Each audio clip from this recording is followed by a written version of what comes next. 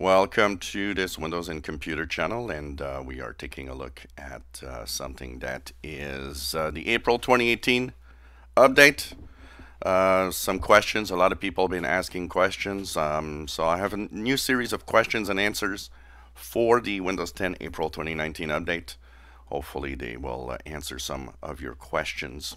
First of all, when will it arrive is the question that everybody's asking. Well, just look at the name April 2019.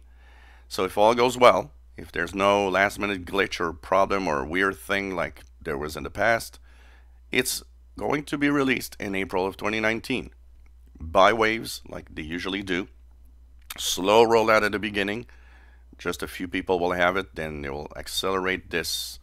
Um, and of course, more and more people will get it as time goes by. It's the first big update of 2019. Uh, if you want to see some of the new features, well, I've posted two videos in the past couple of weeks you can check out that have all the new features basically pinned down and kind of letting you know what's going to be in there.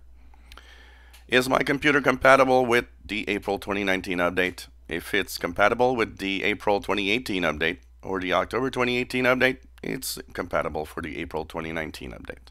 So whatever the age of your PC, it is going to be there. Um, and of course, a lot of you have been asking, well, you know, as there more and more version of these, will it slow down my PC over time?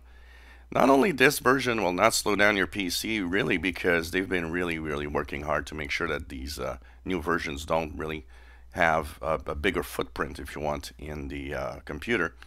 It actually might be faster for pretty much everybody. And the reason why, the uh, famous new way of mitigating Spectre and Meltdown security flaw in the Intel, AMD, and pretty much every processor now that we know. Um, it's actually, this new fix actually makes your PC faster. So that means not only will you not notice any slowdown, there's a good chance you will see actually your PC run faster with the April 2019 update.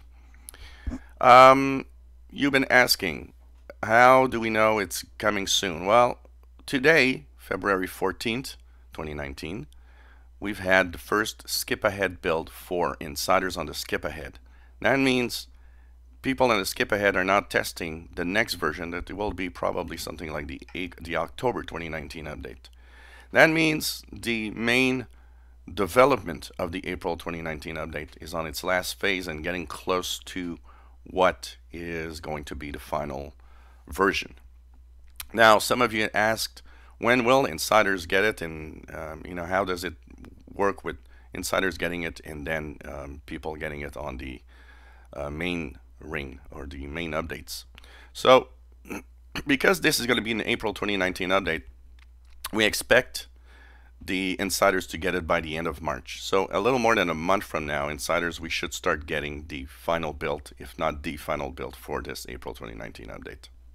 It's going to come out uh, probably at the end of next year, uh, next month, sorry. Remember one thing, April has 30 days, so it could be, you know, April 30th, like it could be April 5th. Um, they often time it with Patch Tuesday, so that could be a possibility. Um, if it is matched on Patch Tuesday of April, well, Patch Tuesday of April will be Patch Tuesday, April 9th. So we're going to look at a chance of an April 9th release of the April 2019 update. That's a possibility. Um, if they do observe the, uh, let's, you know, um, update it at the same time as Windows updates. But, you know, it could be any time in April. There's no official date of release right now. And uh, so, you know, we're marching on to the next version. And um, one of the things that um, a lot of people are wondering is how stable this will be. And the stability, I think, to this year is the number one priority of Microsoft. Stability of the builds that they send out. That means that we'll probably see less new big features, but more tweaking and improving and making sure that this is good. And I expect April 2019 update to roll out quite well because I think they are really, really working hard to make sure that no unseen bugs or un, you know or bugs that have been reported aren't uh, fixed. They're really uh, working hard on this. And I think if you know Windows users want to keep faith in um, the Windows 10 operating system, and enterprise users also, got to make sure that uh, this is good. Also, some of you have said, what about if I don't have the October 2018 update and I, they get to the 29, April 2019 update? Isn't that going to screw something because I don't have the other one? These are autonomous big updates by themselves. What that means uh, is that you do not require to have a previous version of Windows 10 uh, installed for that version to work. It's a full version in itself. A lot of people mistakenly think that when there's an update like this, it actually upgrades the components of the last version. And so you need to have October 2018 update in order to go to 2019. Uh, it's not required. And actually, you could be installing from scratch with the first ever version of Windows 10 uh, when this release is gone or is, is up. And um, you will see that it's probably going to want to jump to April 2019 update directly uh, in its updates. So uh, there's no requirement for you to get October to get the April. So you might actually be surprised to jump ahead. Some people have speculated that this might be happening to some of you.